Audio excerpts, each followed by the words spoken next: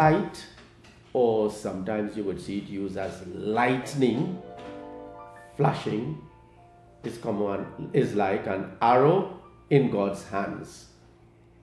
Light, or sometimes you have lightning, is like an arrow in the hand of Almighty God. Job chapter 36, verse 33. Job chapter 36. Did I say verse 33? Yeah.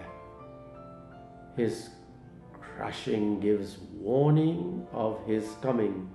Anger flashes out against iniquity.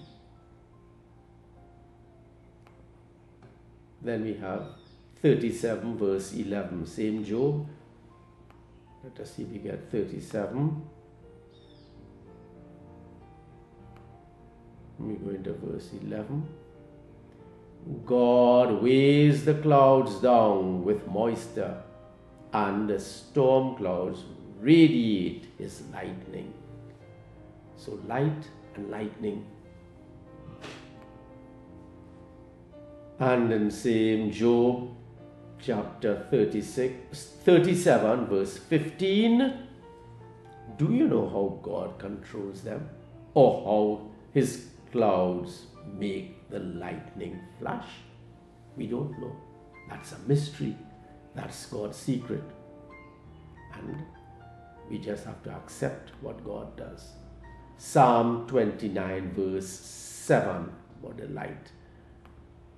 Psalm what Psalm did I say? 29 verse 7. Psalm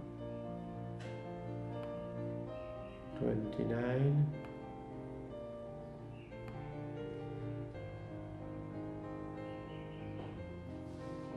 Yahweh's voice carves out light, carves out the lightning. The voice of God resounds on the lightning.